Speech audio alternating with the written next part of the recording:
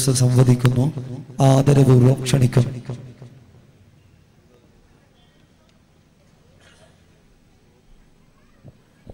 ബിസ്മില്ലാഹി അലാ അംബിയാഇ വൽ മുർസലീൻ സാദാത്തുകളോ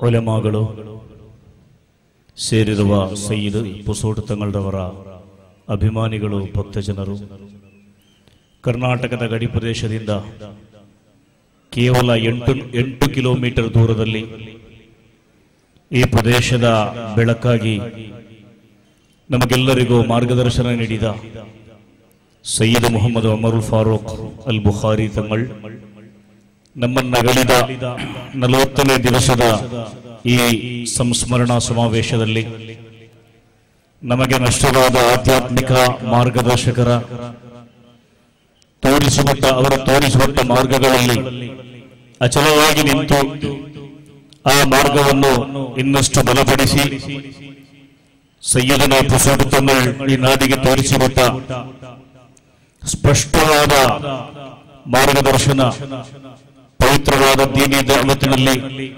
ಅವರಿಗಿಂತ ಅತಿಯಾದ ಉತ್ಸಾಹ ನಿರಂತರ ಆ ವಿಷಯಗಳ ಬಗ್ಗೆ ಅವರಿಗಿದ್ದ ಕಾಳಜಿ ಬಡಜನರ ಬಗ್ಗೆ, ದರಿದ್ರರ ಬಗ್ಗೆ, ಅವರಿಗಿದ್ದ ವಿಶೇಷವಾದ ವಾತ್ಸಲ್ಯ, ಇವು ಎಲ್ಲ ಕಾರಣಗಳಿಂದ ತಮಿಳ್ ನಮ್ಮ ಮಧ್ಯೆ ಯಾವತ್ತೂ ಕೂಡ ಮಂಕಾಗದ, ಮಸುಕಾಗದ ನೆನಪಾಗಿ ಇವತ್ತು ನೆಲೆಗೊಂಡಿದ್ದಾರೆ.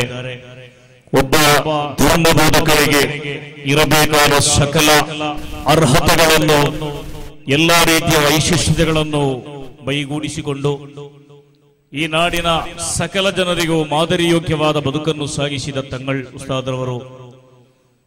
ಈ ನಾಡಿನ ಕಟ್ಟಕಡೆಯ ಮನುಷ್ಯರೊಂದಿಗೂ ಕೂಡ ಅತ್ಯಂತ ಆತ್ಮೀಯವಾದ ಒಡನಾಟವನ್ನು ಹೊಂದಿ ಆಧ್ಯಾತ್ಮಿಕ ಮಾರ್ಗದರ್ಶನದ ಜೊತೆಗೆ ಜನರಿಗೆ ಅಗತ್ಯವಾದ ಆರ್ಥಿಕವಾದ ನೆರವುಗಳನ್ನು ಕೂಡ ನೀಡಿ ಸಮಾಜದ ಸರ್ವಾಂಗೀಣ ಸುಧಾರಣೆಗಾಗಿ ತನ್ನ ಜೀವನವನ್ನು ಮುಡಿಪಿಟ್ಟ ಮಹಾತ್ಮರಾಗಿದ್ದರು.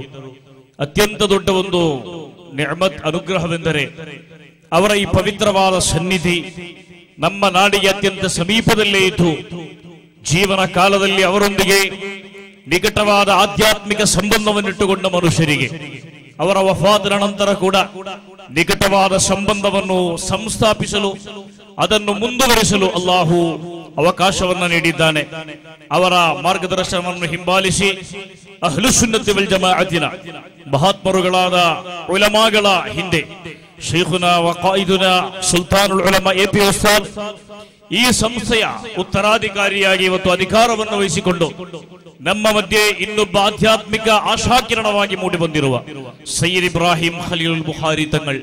ಮುಂತಾದವರ ಮಾರ್ಗದರ್ಶನದಲ್ಲಿ ಅಹಲು ಸುನ್ನತ್ ಜಮಾಅತಿನ ಸೇವಾ ಕಾರ್ಯಕ್ರಮಗಳಲ್ಲಿ ಕ್ರಮಗಳಲ್ಲಿ ಭದ್ರವಾಗಿ ನಿಂತು ಮುಂದುವರಿಯಲು ಸರ್ವಶಕ್ತರು ತೌಫೀಕ್ ನೀಡಲಿ ಎನ್ನುವ ಪ್ರಾರ್ಥನೆಯೊಂದಿಗೆ ಸೈಯದ್ ಉಮರ್ ಫಾರೂಕ್ ತಂಗಳ್ರವರ ಆಧ್ಯಾತ್ಮಿಕವಾದ ದರ್ಜೆಯನ್ನು ಅಲ್ಲಾಹು ತಆಲಾ ಬಹಳಷ್ಟು ಎತ್ತರಕ್ಕೇರಿಸಿ ಅವರ ನೆರವಿನಿಂದ ನಮ್ಮ ಐಹಿಕ ಪಾರತ್ರಿಕವಾದ ಸಂಕಷ್ಟಗಳನ್ನು ನಿವಾರಿಸಿ, ನಮಗೆ ಅನುಗ್ರಹ ನೀಡಲಿ ಎಂಬ ಪ್ರಾರ್ಥನೆಯೊಂದಿಗೆ, ಅಸ್ಸಲಾಮು ಅಲೈಕುಂ ರಹಮತುಲ್ಲಾಹಿ ವಬರಕಾತು.